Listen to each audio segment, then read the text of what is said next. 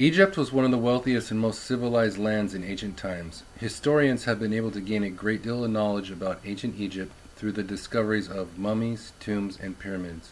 While investigating ancient architecture, archaeologists have found that ancient Egyptians were extremely religious. Funerary remains are the most obvious and remarkable physical remnants from ancient Egypt. Whether pyramids, mummies, or Tutankhamun, it is a tomb and the things that come out of them which provide the most instantly recognizable and for most people defining examples of ancient Egyptianness. Within ancient Egypt, death was not seen as the last stage of life, but a period of rest, waiting for revivification and the afterlife. Preparation for the afterlife consisted of the dead being preserved through mummification and the construction of enormous pyramids that would house the tombs of Egyptian royalty. Within the Egyptian culture, there was a belief that the spirit of the dead lived on. Death was simply a temporary interruption rather than complete cessation of life, and that eternal life could be ensured by means like piety to the gods, preservation of the physical form through mummification, and the provision of statuary and other funeral equipment. Mummification was a long and complicated method of artificial preservation of the human body developed by ancient Egyptians. No area of earthly activity was left out of Egyptian salacious preparation of the future.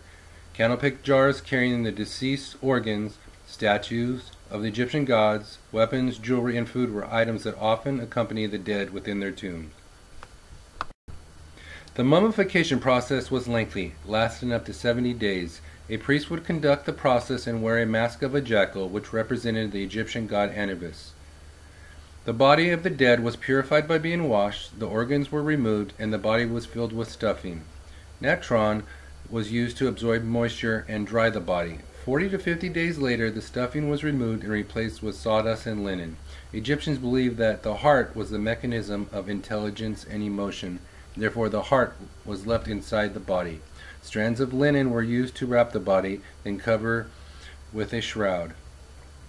The body was then placed in a sarcophagus and ready for burial. The interior walls of the tomb were painted with scenes that depicted the life of the deceased individual.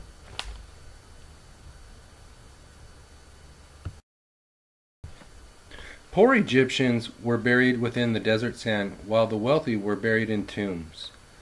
The more prominent a person was while they were living, the more extensive preparations were for their afterlife. Elaborate tombs were built for royalty and the wealthy. Painting and sculptures were created as gifts for the deceased. Belief in an afterlife caused Egyptian kings to build monumental pyramids in order to house their bodies upon death and usher them successfully into the afterlife.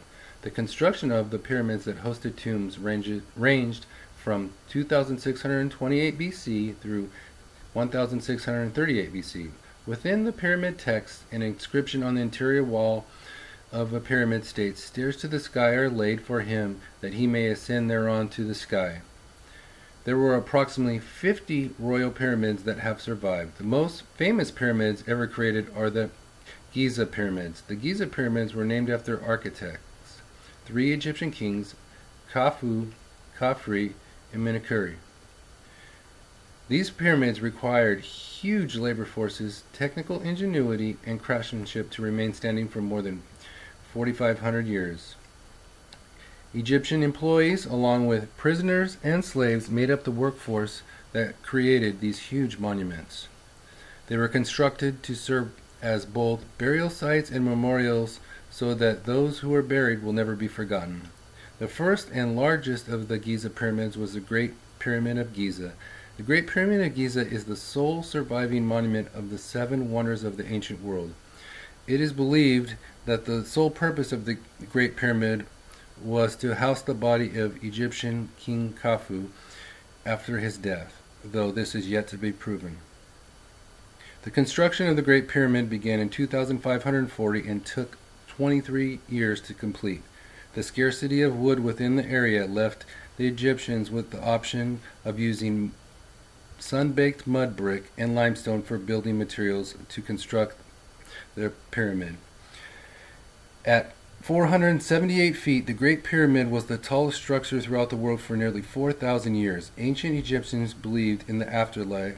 Belief in the afterlife led to the creation of some of the largest, most durable, and innovative architecture ever created. Thank you for watching my video.